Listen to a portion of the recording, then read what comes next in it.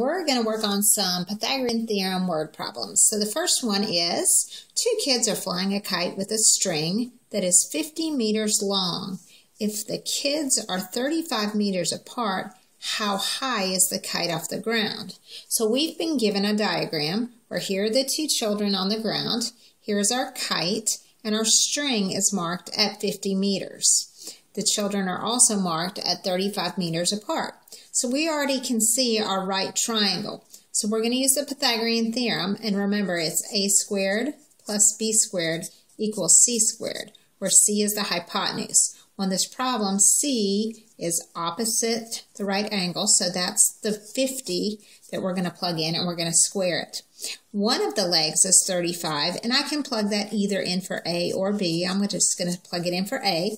So 35 squared plus b squared is equal to 50 squared. So now I'm going to grab my calculator and I'm going to take 50 and I'm going to square it. So you're going to click this button and that gives me um, 2,500 and I'm going to take 35 and I'm going to square that and that gives me 1,225. And then I bring in the b squared down. Now I'm going to subtract 1,225 from both sides. So 2,500 minus 1,225. That's going to give me b squared is 1,275. Now to undo this square, I'm going to take the square root. So I'm not going to hit the second and square root button of 1275. And my answer is 35.7. So that means the kite is 35.7, in this case, meters high.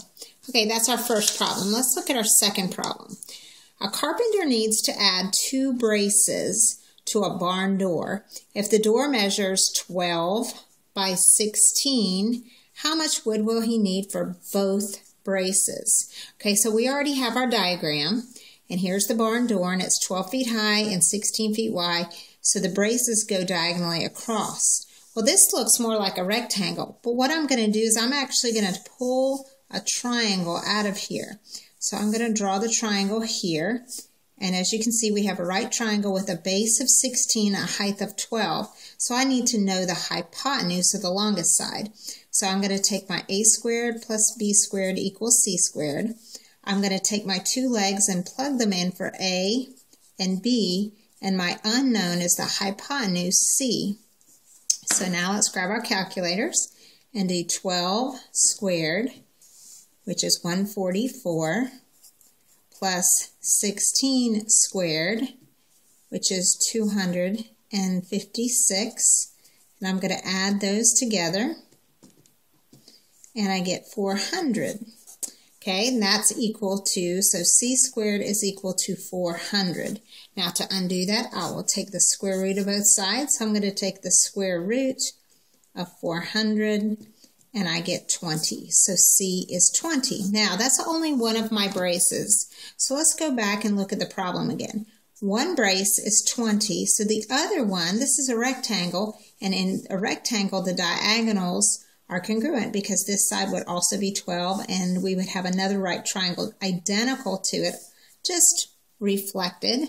So that means I'm going to take 20 and I'm going to double it to get how much wood I need. So I'm going to need 40 feet of wood to complete the barn door. There you go. Hope this was helpful.